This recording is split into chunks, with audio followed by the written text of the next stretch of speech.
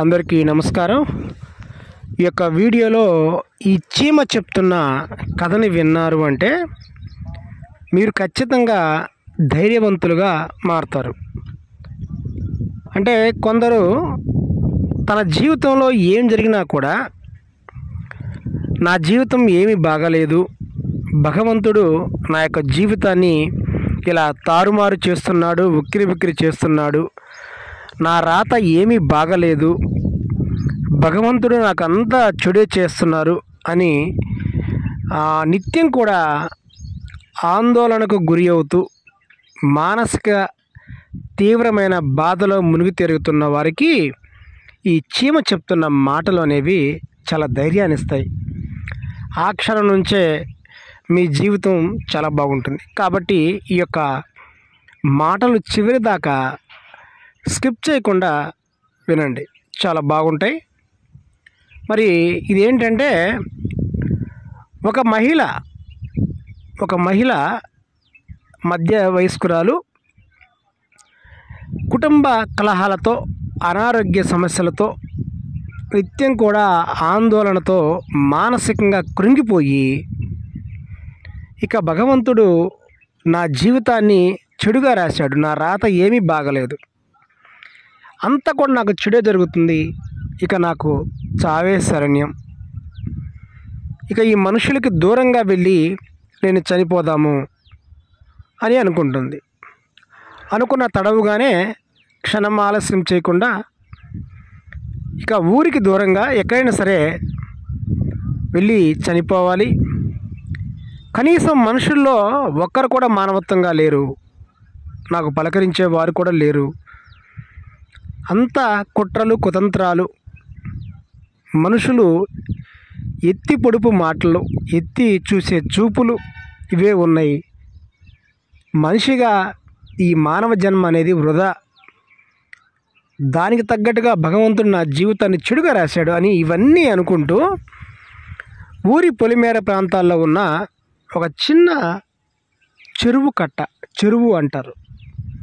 ఆ చెరువు కట్ట వద్దకు వెళ్ళి చనిపోదామని ఇక ఆ చెరువు కట్ట వద్దన్న ఒక చెట్టు కింద కూర్చొని తన జీవితం జాతకం ఎందుకు ఇలా అయింది? తన జీవితంలో జరిగిన ప్రతి ఒక్క గతాన్ని కూడా ఆ గతం తాలూకు జ్ఞాపకాలన్నీ కూడా తలుచుకుంటూ కన్నీరు మున్నీరుగా విలపిస్తూ ఉంటుంది. ఇక చనిపోదాం అనుకునే దశలో ఒకసారిగా ఆ చెట్టు కింద ఉన్న ఒక చీమ ఆమెని కుడుతుంది. ఆ చీమ కుడతంతోనే ఒక్కసారిగా ఈమె ఆ నొప్పితో విలుక్కిపడి ఆ చీమని చంపబోతుంది. అంటే చేత్తో నలపబోతుంది అనమాట అప్పుడు ఆ చీమ ఒక క్షణం ఆగమంటుంది. నన్ను ఎందుకు నువ్వు చంపబోతున్నావు అని అనగానే నన్ను కుట్టి నాకు బాధను కలిగించావు. కాబట్టి నేను నేను చంపబోతున్నాను అని చెప్పింది మహిళ. మరి మనుషులందరూ కూడా నీకు బాధను కలిగించారు కదా మరి అందరూ కూడా ఎందుకు నువ్వు చంపలేదు అని చీమ అడిగింది. దానికి ఆ మహిళ ఏం మాట్లాడలేదు. మరి ఇక్కడ నువ్వు ఆత్మహత్య చేసుకోవడానికి వచ్చావు భగవంతుడు కూడా నీకు చెడు చేస్తున్నాడు నీ రాత బాగలేదని చెప్పావు కదా మరి ఎందుకు నువ్వు భగవంతుని కూడా చంపలేకపోయావు అని చీమ మళ్ళీ ప్రశ్నిస్తుంది. దానికి ఆ మహిళ ఏమీ మాట్లాడలేదన్నమాట. అప్పుడు ఆ చీమ ఆ మహిళకి ఇలా చెప్తుంది. అమ్మ చూడు నీ యొక్క బాధ అంతా కూడా నాకు తెలుసు. నువ్వు ఈ చెట్టు వద్ద వచ్చి కూర్చున్న సమయం నుంచి నిరంతరం అంటే విలపిస్తూనే ఉన్నావు ఏడుస్తూనే ఉన్నావు. నీ కంట నీరు నా మనసు కరిగించింది. ఎంతో బాధ ఉంటేనే కానీ మనసులో కళ్ళ వెంట నీరు రాదు. నువ్వు ఒక ఒంటరి మహిళగా ఈ సమాజంలో ఉన్న సాటి మనుషులతో విసిగి వేసారిపోయి ఉన్నావు. దానికి భగవంతుడు కూడా బలాన్నిస్తూ నీకు సమస్యలపైన సమస్యలు సృష్టిస్తూ ఉన్నాడు. కానీ ఒక్క నిమిషం అమ్మా మనుషులు కానీ భగవంతుడు కానీ మన విధిరాత ప్రకారంగానే ప్రవర్తనలు ఉంటాయి. ఏమి జరిగినా కూడా అంతా నీ మంచి కోసమే జరిగింది.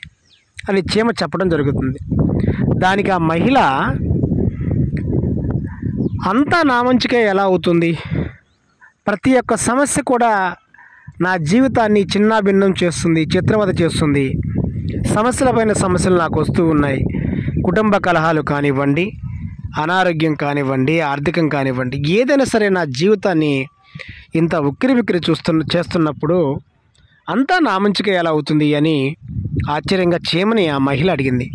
అప్పుడు ఆ చీమ తన జీవితంలో జరిగిన ఒక చిన్న సంఘటనని ఆ మహిళకు చెప్తుంది అది ఏంటంటే అమ్మ నేను చాలా కాలంగా ఈ యొక్క చెరువు కట్టపైన ఉన్న ఈ చెట్టుపైనే ఆవాసం ఏర్పాటు చేసుకొని నేను నా జాతి చీమలతో కలిసి ఉంటూ ఉన్నాం. అయితే ఒకరోజు నేను యథావిధిగా ఈ యొక్క చెట్టు మానుపై నేను ఆహారం కోసం తిరుగుతున్నప్పుడు నా యొక్క పట్టు జారి నేను ఈ చెట్టు పైనుంచి చెరువులో నీళ్ళలో పడడం జరిగింది. అప్పుడు నేను అనుకున్నాను అరే ఈ నీళ్ళలో నేను పడిపోయాను కదా నా చేతులు కాళ్ళు పట్టు జారిపోయినాయి కదా భగవంతుడు నాకు ఎందుకు ఇలా చేశాడు? నేను ఏ ద్రోహం చేయలేదు కదా అని నేను అనుకున్నాను. ఆ చెరువులో పడి నేను బయటికి రాలేక నీళ్ళల్లో కొట్టుమిట్టాడుతున్నప్పుడు ఈ చెట్టు పైన ఉన్న ఒక ఆకు రాలి చెరువులో పడింది నా దగ్గర పడింది. నేను వెంటనే ఆ యొక్క ఆకు పైన నేను ఎక్కి కూర్చున్నాను.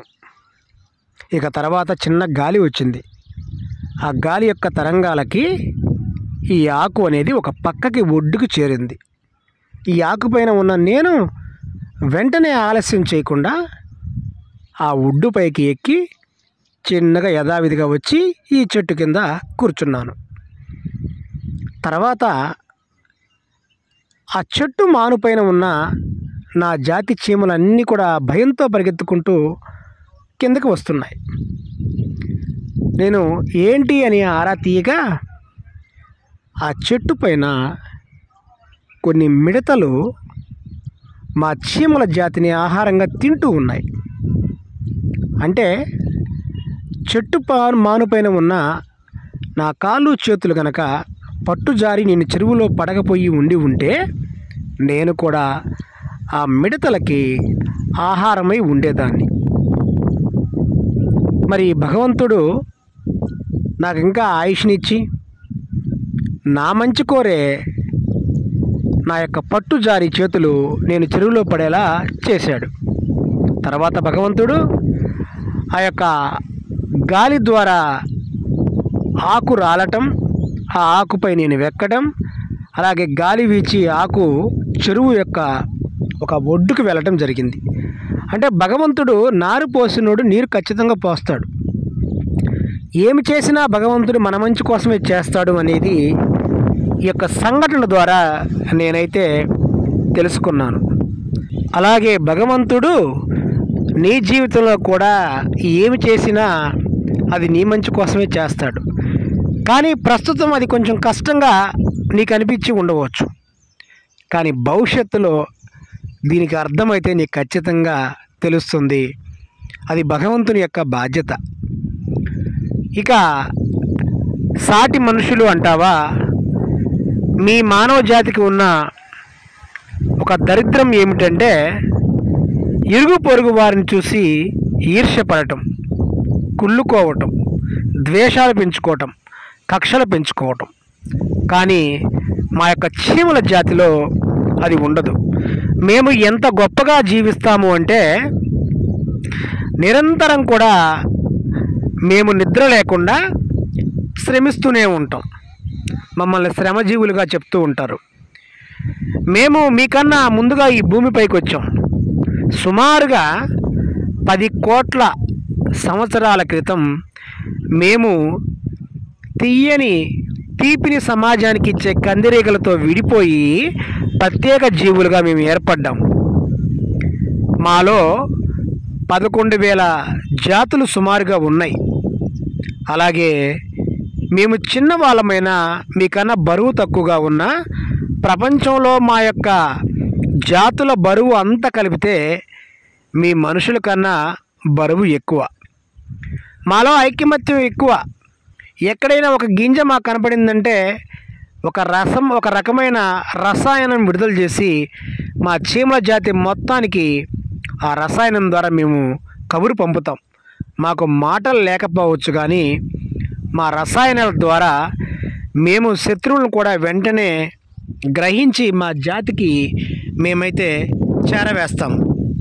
ఇంకా మా జాతి గొప్పతనం ఏంటంటే మేము మాకన్నా ఇరవై రెట్లు ఎక్కువగా బరువును మోస్తాం. అది మా యొక్క జాతి గొప్పతనం. అలాగే మాలో ఎన్నో రకాల జాతులు ఉన్నప్పటికీ మేమంతా కూడా కలిసికట్టుగా ఉంటాం. మాకు నోరు లేకపోయినా మేము ఇల్లు కట్టుకొని ఆ ఇళ్ళలో ఆ మట్టి ఇళ్ళలో చాలా చక్కని గదులు ఏర్పాటు చేసుకొని ఒక్కొక్క పుట్ట మట్టిలో ఎనభై లక్షల దాకా మేము అంటే ఎనభై లక్షల చీమలు మేము కలిసి ఉంటాం. మీరు ఒక ఇంట్లో నలుగురుంటేనే ఒకరంటే ఒకరు మీకు పడదు. కాబట్టి మీకు మాకు చాలా తేడా ఉంది. కానీ భగవంతుడు ఇచ్చిన పని ఎవరికైనా ఒక్కటే. కాబట్టి ప్రతి ఒక్క ప్రాణిలో కూడా లోపాలు ఉండొచ్చు. భగవంతుడు కొన్ని లోపాలు పెట్టచ్చు. కానీ అవన్నీ కూడా మరొక విషయానికి మంచిదే. కాబట్టి ఈ క్షణం నుంచి నువ్వు మీ సాటి మానవుల గురించి ఆలోచించక భగవంతుడు నీకు చేయబోయే మంచి గురించి నిరంతరం ఆలోచిస్తూ ప్రస్తుతం ఉన్న కష్టాన్ని ఇష్టంగా భరించమ్మా అని చెప్పడం జరిగింది. ఈ మాటలు విన్న మహిళ జ్ఞానోదయమై చీమకు నమస్కారం చేసుకొని తన యొక్క భవిష్యత్తులో జరగబోయే మంచి గురించి ఆలోచిస్తూ ఆనందంగా కళ్ళ నీళ్ళు తుడుచుకుంటూ ఇంటికి ప్రయాణమై అయింది.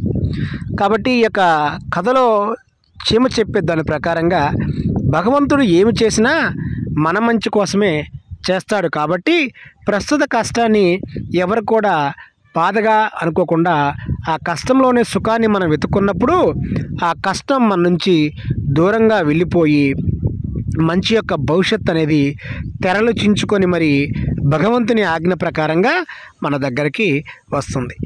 చూడండి ఈ యొక్క వీడియో కనుక మీకు నచ్చినట్లయితే ఖచ్చితంగా మీ యొక్క అభిప్రాయాన్ని కామెంట్లో తెలియపరచండి. ఈ యొక్క వీడియోని షేర్ చేయండి. అందరికీ నమస్తే.